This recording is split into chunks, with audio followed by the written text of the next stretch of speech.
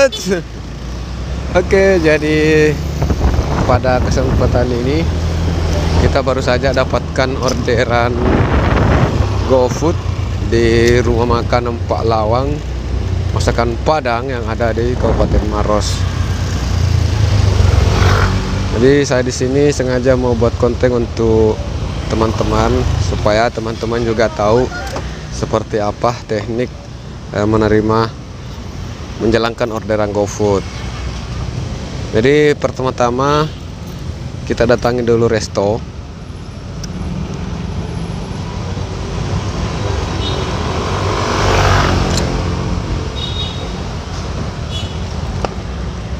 Kita datangi resto minta pin ya.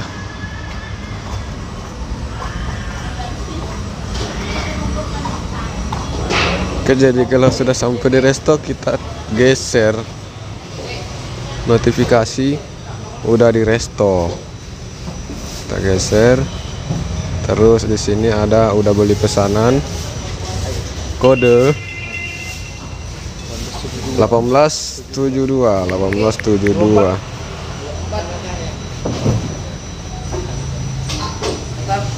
Oke, ini. Oke, kasih ya.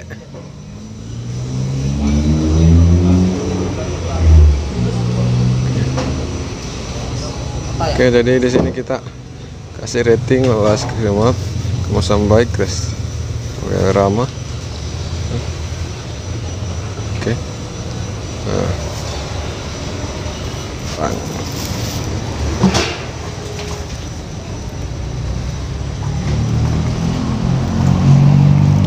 Oke, jadi setelah pesanan kita ambil setelah pesanan kita ambil kita.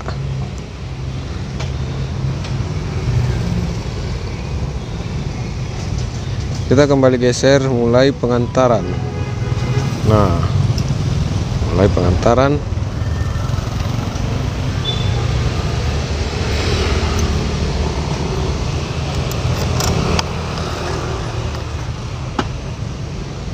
Kita eh, melalui maps ya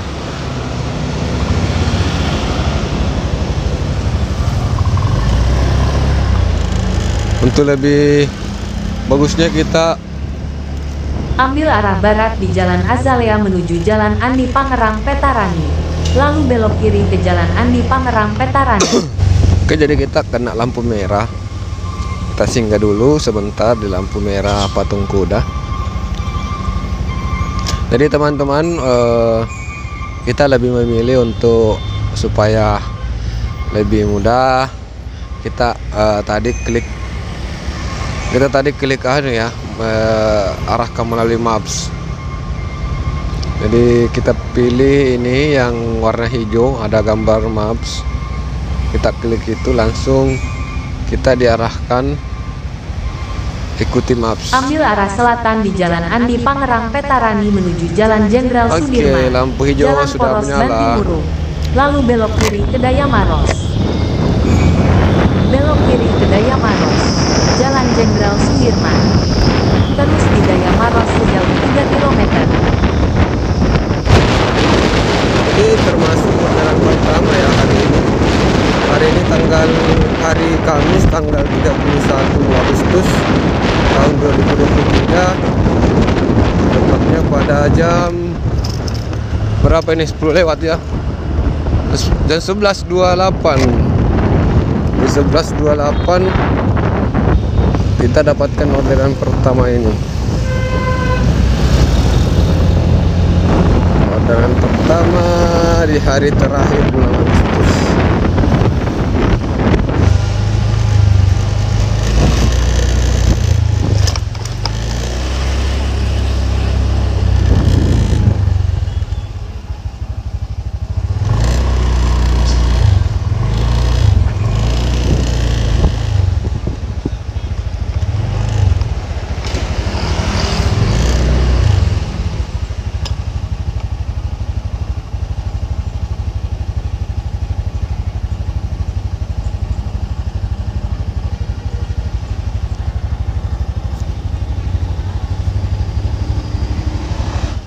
chat.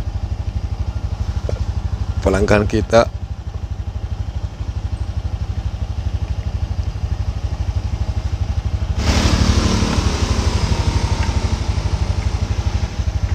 Kita bisa ditelepon juga ya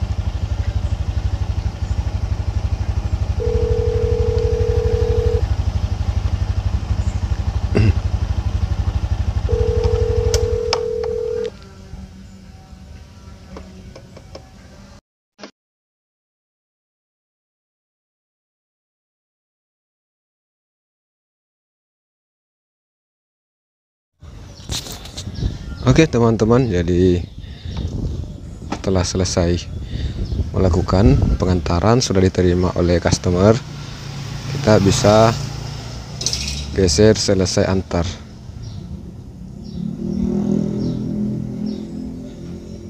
Nah customer bayar pakai GoPay ya jadi bertambah saldo kita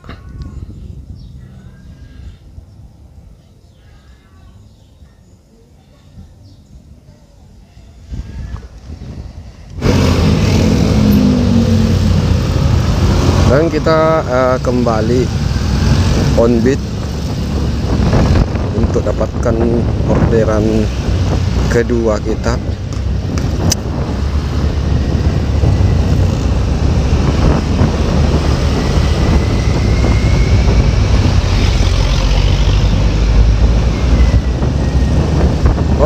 Oke. Oke jadi sekedar informasi bahwa uh, kemarin itu saya sempat dapatkan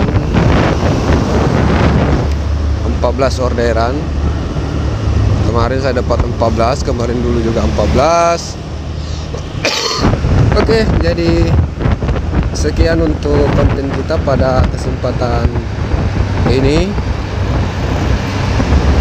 dan tentunya apabila ada beberapa hal yang mungkin ingin dipertanyakan silahkan untuk tinggalkan jejak di komentar. Dan tentunya saya juga berharap untuk berharap kepada teman-teman. Semoga teman-teman bisa uh, menyukai uh, konten video ini. Apabila ada hal-hal yang mungkin kurang berkenan bisa juga tinggalkan jejak di komentar berupa uh, kritik atau saran kepada saya selaku admin. Subscribe dan bunyikan lonceng agar tidak ketinggalan dengan konten-konten uh, selanjutnya yang tentunya akan lebih menarik untuk disaksikan. Oke. okay. Sekian. Assalamualaikum warahmatullahi wabarakatuh